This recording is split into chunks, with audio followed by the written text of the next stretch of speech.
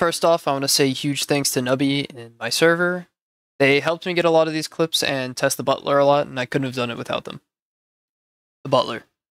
It has a power level of 2, takes 5 hits to kill in multiplayer and 1 hit to kill in single player. The maximum amount that can spawn on one moon is 7 Butlers, and it is most common on Dine, which it has a 61.64% chance. The Butler is an inside entity, and when they spawn, they will randomly roam the mansion or facility. They path at a very fast rate until finding the player and then slow down and begin sweeping. The Butler has a passive and aggressive state. It is initially in its passive state. When it comes across an alone player, it will initially pull out its broom and innocently sweep. After being around that solo player for a short time, the butler will turn to its aggressive state and put away its broom, then pull out its knife and start chasing the player, thus moving into its aggressive state. The butler does not attack with more than one person around unless you attack it first. So even if you have seven butlers around you, as long as you are near one other player, none of them will pull out their knife and go into the aggressive state. They will all be sweeping.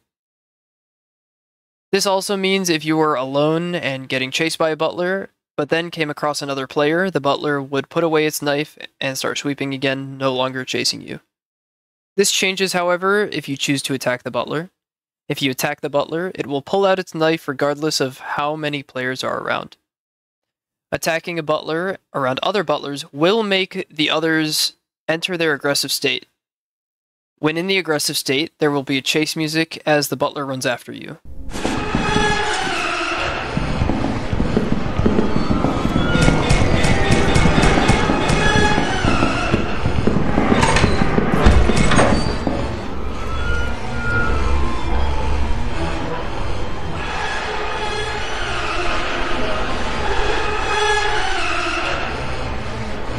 In its aggressive state, the butler will chase the player and kill very fast. He only takes about 15 stabs to kill you.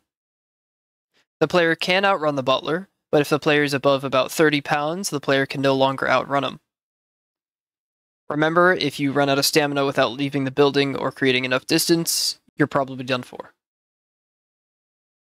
The best way to kill a butler is to try and circle it in a big area. This is the best way to do it without getting hit at all but it's not too hard to just gang up on the butler or take a few knife hits as you kill it. You will just hit the butler and then start running in a circle backwards because the butler isn't too great at turning. Once you kill the butler, it will blow up like a balloon and pop. Be careful because this explosion can send you flying into the air and kill you if you are too close. However, the explosion does no damage itself. After it pops, masked hornets will spawn from inside the butler. These hornets act just like bees, but are a bit slower and easier to lose. Just like circuit bees, these hornets are not killable, so if you want to kill any butlers, it is recommended you save them for the very end when you do not have to go back in the facility. Additionally, these hornets also do 10 damage per hit and can kill you very quickly, even if you're full health. If these hornets are around and you are around another butler, the butler will turn to its aggressive state.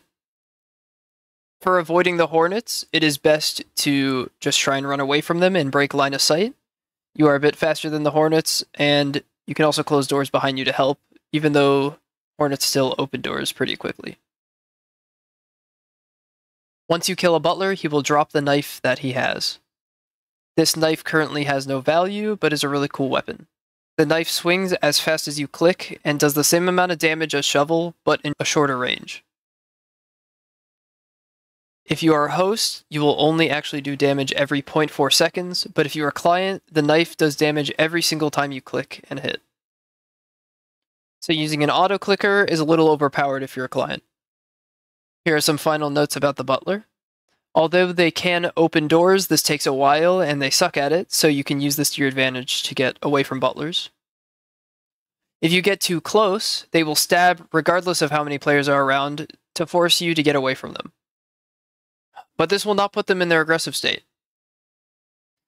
There's a common myth that hitting them in their aggressive state is only one hit, but this is not true. It will always be five hits on multiplayer and one hit on single player.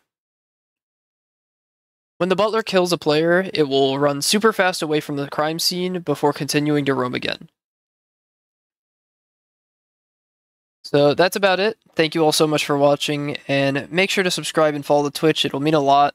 I stream there almost every day. And as always, have a wonderful rest of your day.